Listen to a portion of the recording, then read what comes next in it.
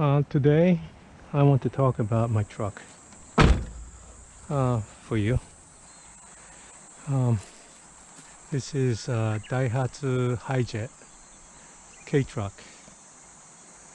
Uh, some people seems to know uh, Japanese trucks very well and overseas, but uh, still, maybe um, people outside of Japan, um, K-truck is still um, kind of a new concept, I guess.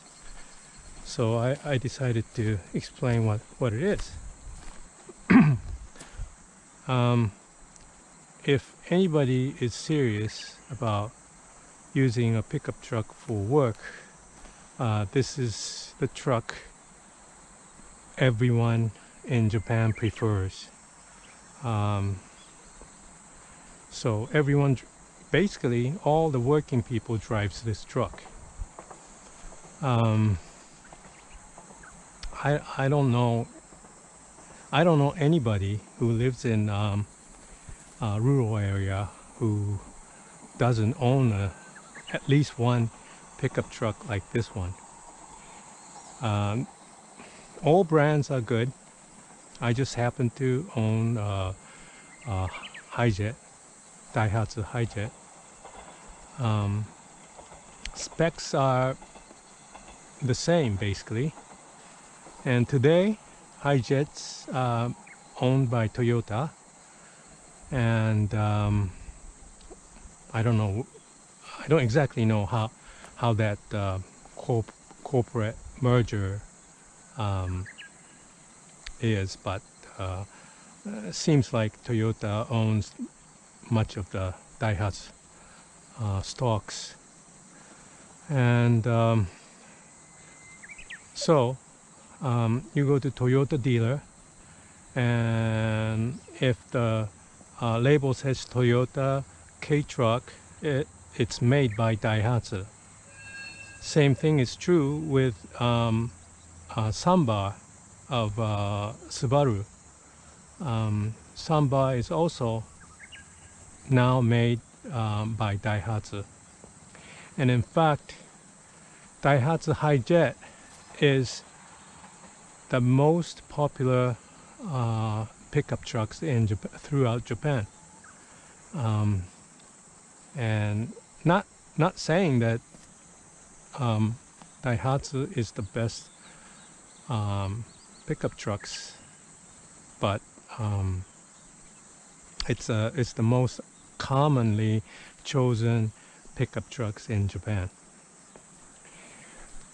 And this one is uh, how old is it? It's I think it's about seven, probably about around seven years old, and um, um, I have my Gunner kennel um, strapped in the back of the truck. And yeah uh, my gun dogs inside the kennel. And this this is how it how it looks. Maybe I should um, start the engine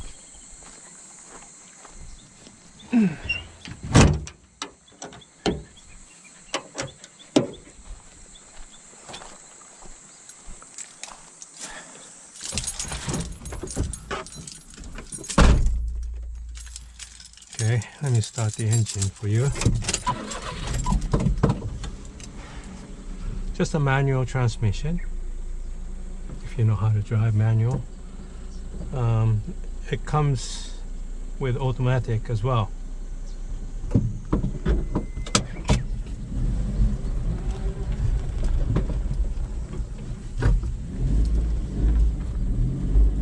It's in a real drive uh, for uh, two-wheel drive at the moment. And I want to keep it in a two-wheel drive uh, setting and, normal use. I highly, uh, I, unless it gets stuck, I, I won't use the four-wheel drives because um, it rides better, I think.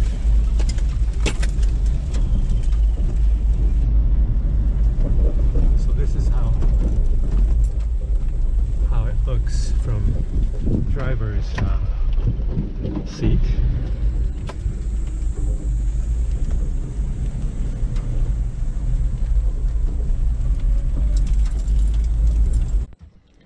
There's one more thing that you really need to know.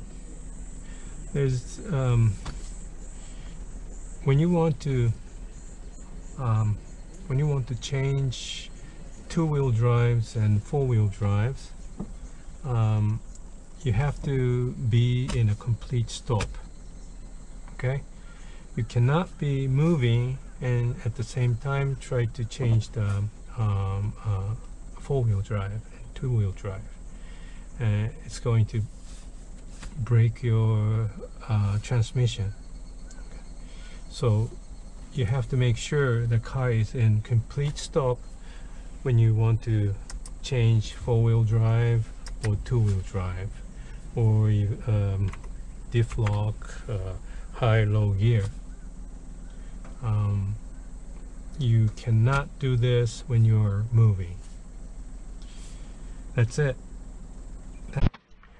I'd like to show you um, how, how this vehicle performs. Okay. This this one here is a pedestrian walk.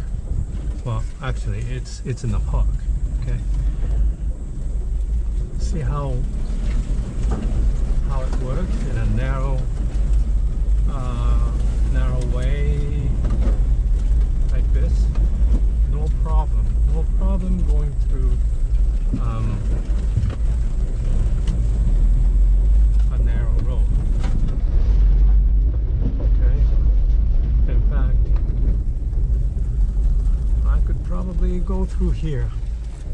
I just have to move that cone and go through this area, but I won't. Okay. Just wanted to show you